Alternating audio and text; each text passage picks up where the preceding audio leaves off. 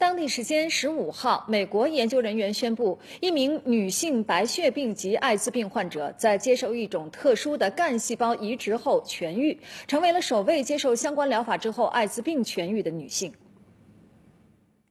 Well, we're very excited to share uh, our patient's story. It's particularly notable because she's uh, the first woman who's uh, achieved a long-term remission of HIV, and it's particularly important because worldwide women uh, constitute over half of people living with HIV, and in the United States, it's about a quarter. 这名中年女性，二零一三年被诊断感染了艾滋病病毒，四年后被确诊患急性髓系白血病。之后，她接受了一种名为单倍体脐带血移植的疗法。这种方法由威尔康奈尔医学院的团队开发。患者先从一个捐赠者那里通过移植获得特殊的脐带血，这种脐带血中含有能对抗艾滋病病毒的相关突变。之后，患者再接受成体干细胞移植。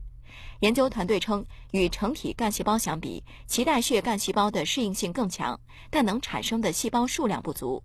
而来自成年人供体的干细胞可以弥补这一问题，并且脐带血资料由国家统一储存，更容易对抗艾滋病突变进行筛查。此前曾有两名男性接受过含有抗艾滋病突变的成体干细胞移植，从艾滋病中痊愈。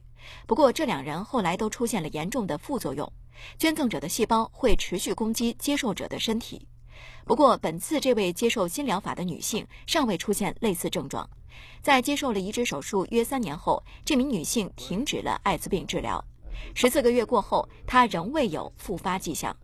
不过，研究团队也指出，相对于庞大的艾滋病患者数量，这种治疗方法可适用的范围太小，每年可能只有五十人符合条件。